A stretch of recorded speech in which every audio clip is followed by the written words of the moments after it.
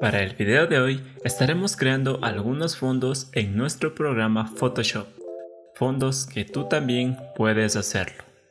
Ilustremos.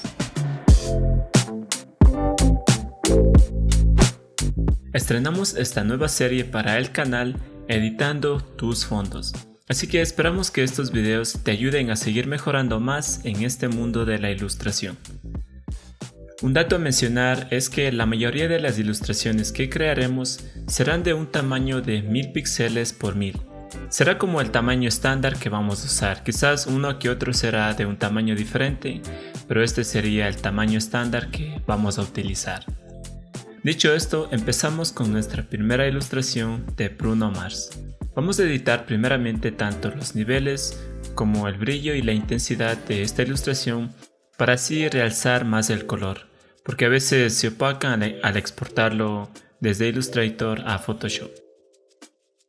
Otro ajuste que hacer será agregar una sombra extra tanto para su rostro como para su gorra y finalmente agregar una textura a su chaqueta para darle más detalles.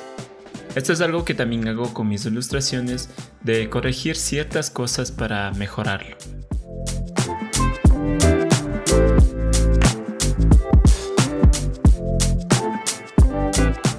Ahora sí, agregamos un color al fondo y aquí vamos a buscar uno que quede súper bien con el color que tenga la propia ilustración. Es bueno agregar colores que combinen y tengan armonía entre sí. Yo aquí te recomiendo pruébate no solo con un color sino con varios y quédate con el que más te guste. Yo uso mucho las de concreto o las de pared, realmente me gustan por los detalles que le agregan al fondo. Debajo de esta textura vamos a incluir un degradado para darle un toque diferente al color original. Aquí puedes escoger los que más te gustan a ti. Lo que vamos a hacer será combinar su modo de capa y darle otro tono al color. Si te fijas, este degradado le da una variante interesante al color original. Cada color de fondo, cada degradado, cada modo de capa tienen unas posibilidades infinitas para crear tan simplemente el fondo. Y a veces puede ser más que un degradado si es que quieres agregar más que uno. Como esta ilustración tiene un círculo, crearemos un círculo también para darle un efecto como de neón. En propiedades podemos cambiar el color y también el grosor. Hacemos doble clic en el elipse y ponemos resplandor exterior y lo modificamos a como nosotros queramos. Podemos borrar la parte de aquí abajo para que se vea de esta manera. Perfecto. Algo que me gusta de trabajar el fondo es que se puede ir improvisando, probando diferentes colores o diferentes pinceles. Y la idea que se me viene en mente ahora al ver los colores que tienen es de agregar nubes alrededor. Creo que esa idea no se vería tan mal cuando la trabajemos. Un poco digamos por la parte de acá abajo, pero creo que quedaría mejor si es que ponemos más en los lados tanto derecho como izquierdo.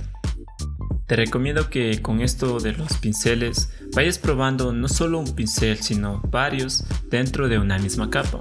Algunos son muy fuertes, algunos son muy opacos, cada uno tiene su toque y cada uno es diferente así que puedes irte probando también con el que más te guste.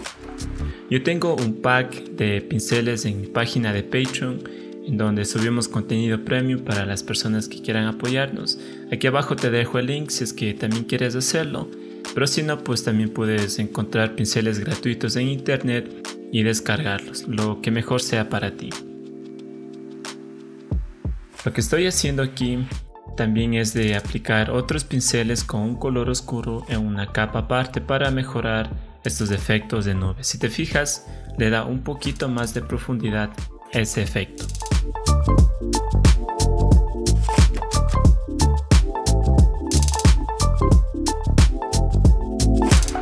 Aquí estaba intentando probar a poner estas luces en algunas partes de la ilustración, pero a veces suele pasar que esto no funciona o no queda como nos gustaría. Pero me gustaría que siempre tú puedas probar, puedas intentar y ver si al final tiene un buen resultado. Y a veces pasa que sí y a veces pasa que no, pero lo importante es hacer la prueba. Y algo que me funcionó en este caso es de probar al otro lado. Como no me quedó bien en este lado, intenté en el otro y aquí sí quedó bien. Y es algo que también puede pasar muchas veces. Quizás no funciona de una forma que quizás estabas pensando, pero funciona de otra forma. La idea nuevamente es simplemente probar, eh, intentar y ver cuál nos quedaría mejor. Y ya para terminar con este fondo, podemos agregar otros detalles como unos rayos, quizás unas líneas alrededor del círculo o incluso agregar una tipografía en este caso. Podríamos agregar también su nombre para así darle un poquito más de peso para ya terminar.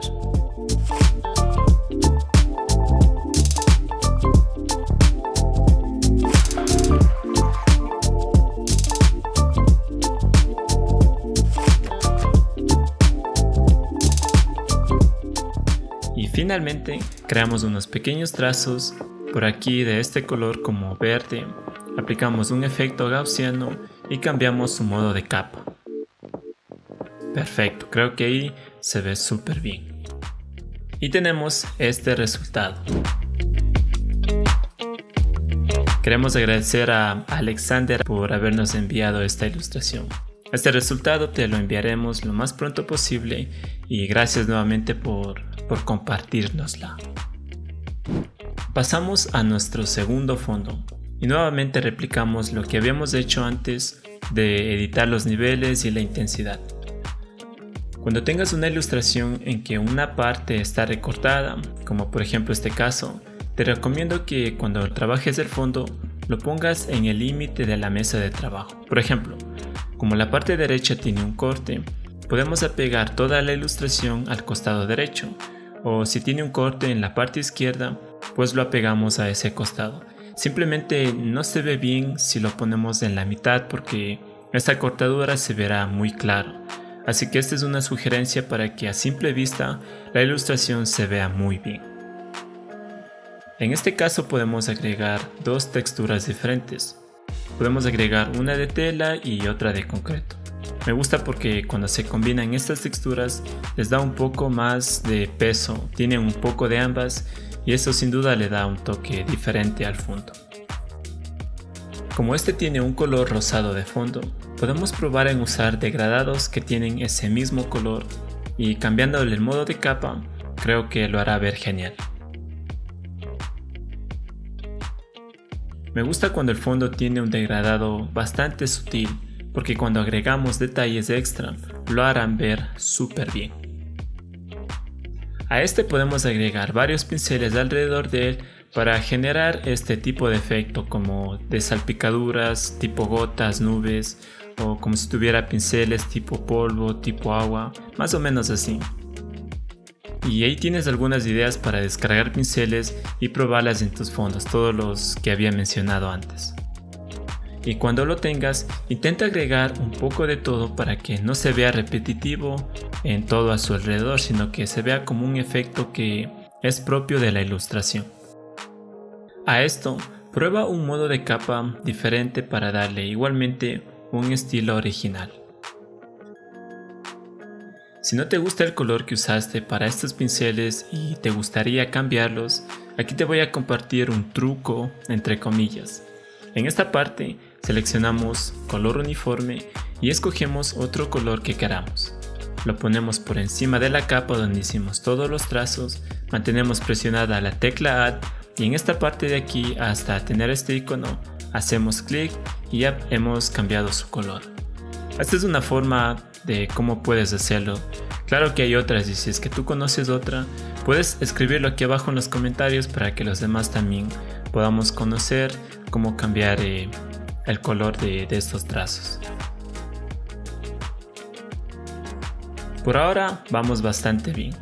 Como hay un espacio en esta parte, probaremos en agregar su nombre. Y a veces con las tipografías, nosotros personalmente matamos nuestra cabeza porque queremos encontrar la tipografía perfecta, que se vea muy bien con todo el estilo de la ilustración e incluso que se vea bien con el personaje de esa ilustración.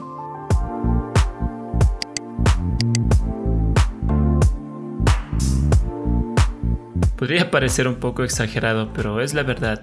De hecho, Nos ha tomado casi 10 minutos en escoger esta tipografía.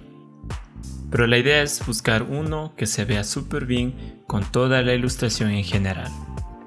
Para ocupar el espacio que hay aquí, podemos poner en vertical todas estas letras. Buscaremos ahora un color que resalte muy bien con el fondo. Creo que entre un celeste o un celeste claro quedaría bastante bien. Ahora démosle unos efectos a estas letras. Podemos empezar con unas sombras, más o menos como estas, aunque no estoy seguro de en qué parte quedaría mejor.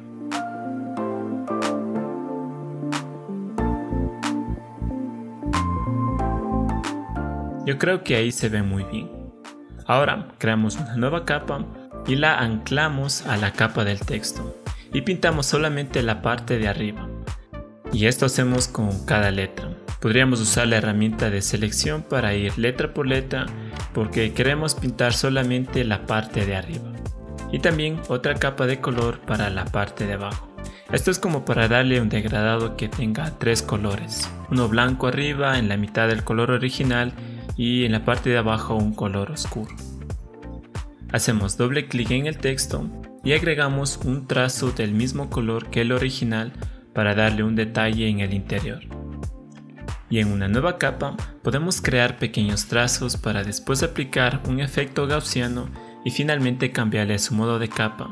Con esto lo que vamos a hacer es crear un pequeño resplandor para cada letra. Ahora podemos darle unos detalles a las letras. Quizás podemos usar el mismo color original que usamos antes y podemos crear unos pequeños círculos dentro de la letra y quizás varios trazos también para así darle un efecto como de goteado en las letras.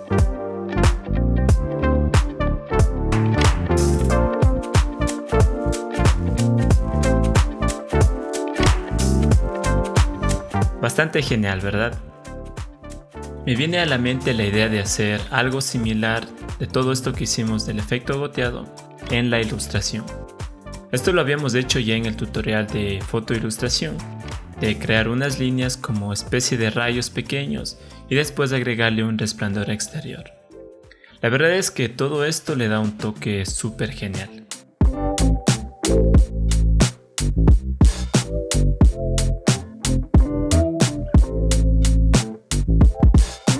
Agregando unos detalles extra, nos quedamos finalmente con este resultado. Y como mencionaba el título de este video, quería solamente empezar estos fondos con algo sencillo, tal vez no tan complicado, pero que a la vez se vea bastante bien. Y creo que lo hemos conseguido con, estos dos, con estas dos ilustraciones.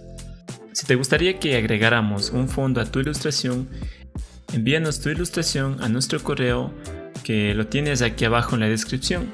Y algo muy importante, esta ilustración no debe tener ningún fondo y debe ser en formato PNG. Y agradecemos a Jefferson Waspa por habernos compartido esta ilustración. Un saludo para ti amigo y también para Alexander. Acá tienes estos otros videos para que sigas aprendiendo más de este tema de los fondos increíbles. Espero que estés muy muy bien y gracias nuevamente por ver este video. Soy de Ilustrare.